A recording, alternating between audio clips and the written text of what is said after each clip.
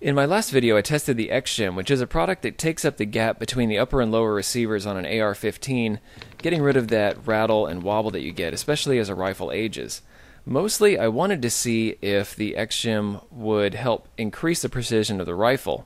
And I immediately got some questions about the, uh, the statistical significance of what I'd done, since I only did four five-shot groups. There were two with the shims, two without, and they were using 55 grain hollow point flat base bullets.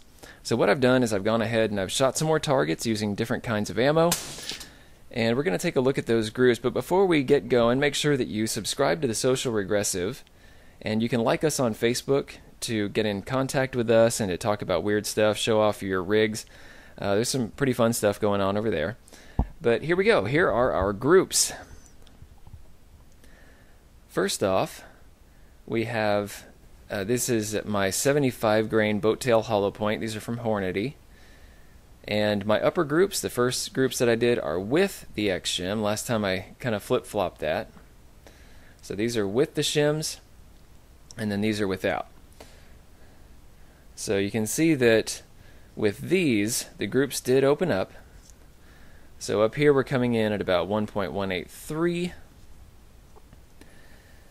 and then without the X-Shim, this is 1.431. Next up, we have Silver Bear ammunition. And this is steel case stuff from Russia. It has a zinc washed case, so it kind of has a silvery look to it. I'm using 62 grain hollow point bullets in this. These are bimetal jacket bullets. And I'm used to these not grouping particularly well. Uh, and you can see that this first one with the X-Shim is 4.070 inches, over 4 inches and it actually went here and uh, struck the other target just because the, the groups were getting that big. This is not a wind flyer. There really was no wind out of the range, which was really weird for the range that I'm at to not have uh, wind going on. There might have been maybe three miles an hour at best. You know, just the sort of thing you can barely feel it on the back of your neck. And uh, yeah, this is all just the rifle, the ammo. This is just how things went. And then here, without the X-Shim, uh, things reduced down to nearly 3 inches, so this is 2.942.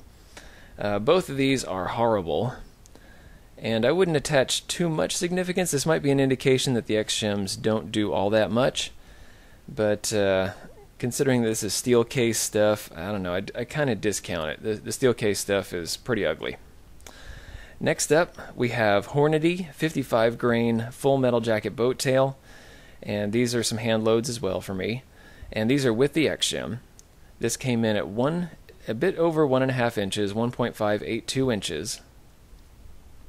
And then down here without the X-Shim, 1.613. So just a, again a bit over um, uh, one and a half inches. It's not all that much larger than this other. The stringing went more horizontal than vertical.